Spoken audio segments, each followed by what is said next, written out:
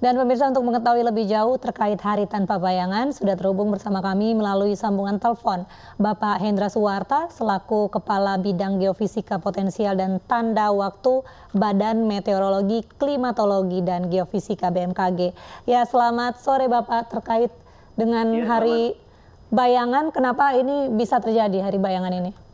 Ya, selamat sore Mbak. Iya, uh, ya Hari Tanpa Bayangan ini sebetulnya peristiwa fenomena alam biasa yang terjadi tahun dua kali. Jadi tadi yang pertama itu Februari April, kemudian yang uh, kedua itu uh, terjadi di bulan September Oktober. Dan ini memang saat itu matahari berada titik terjauh dari langit dan tepat di atas kita gitu. Oke, uh, lalu lalu apa dampaknya ketika uh, kulminasi ini terjadi sebenarnya Pak Hendra? Sebenarnya tidak ada dampak yang berarti, termasuk uh, terhadap peningkatan suhu juga tidak terlalu signifikan.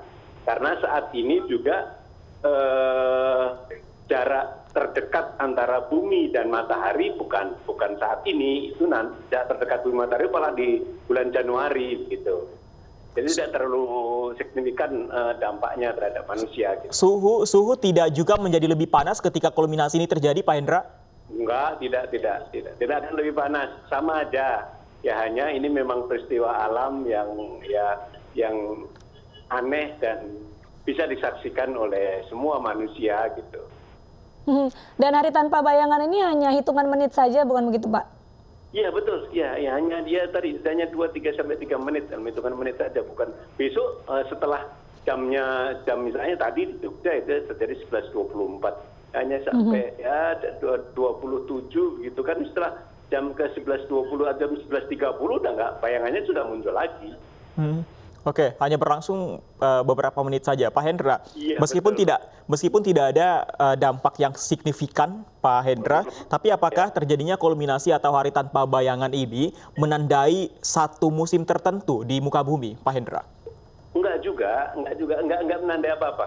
Karena di Indonesia juga iklim atau musimnya itu berbeda, uh, berbeda-beda, tidak sama di Indonesia. Jadi juga tidak tidak apa namanya tidak me, tidak menandakan itu ada perubahan musim atau apa gitu tidak ada. Tapi ini akan pasti terjadi dua kali dalam setahun, Oktober dan Februari, Pak Hendra.